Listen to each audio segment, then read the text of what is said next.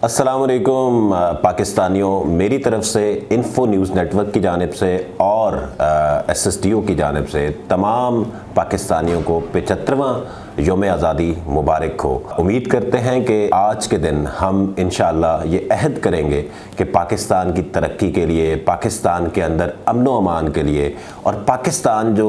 एक सियासी अदम इसकाम से गुजर रहा है पिछले काफ़ी अरसे से, उसमें एक इसकाम डेवलप करने के लिए हम अपना किरदार अदा करेंगे। जब तक हर पाकिस्तानी अपना किरदार अदा नहीं करेगा इसकी तरक्की में, जब तक हर पाकिस्तानी अपना किरदार अदा नहीं करेगा पाकिस्तान में अमन लाने के लिए जब तक हर पाकिस्तानी किरदार अदा नहीं करेगा इसकी मुआशी तरक्की के लिए, उस वक्त तक जो है वो पाकिस्तान तरक्की नहीं कर सकता। तो कायद अज़म के विजन को लेते हुए हम उम्मीद करते हैं कि इस पचहत्तरवें योम आज़ादी के मौका पर हमने जो पिछले पचहत्तर साल गलतियाँ की हैं, उसको हम सुधारेंगे और आइंदा आने वाले वक्त में हम पाकिस्तान को एक रोशन पाकिस्तान देखेंगे, एक बेहतर पाकिस्तान देखेंगे, एक तरक्की याफ्ता पाकिस्तान देखेंगे, एक ऐसा पाकिस्तान पाकिस्तान देखेंगे कि जहाँ पर रूल ऑफ़ लॉ हो। एक ऐसा पाकिस्तान देखेंगे कि जहाँ पर जस्टिस हो। हर इस मुल्क में बसने वाले जो शहरी है, उसके लिए एक ऐसा पाकिस्तान देखेंगे कि जहाँ पर इक्वलिटी हो और एक ऐसा पाकिस्तान देखेंगे कि जहाँ पर सस्टेनेबल डेवलपमेंट हो, ताकि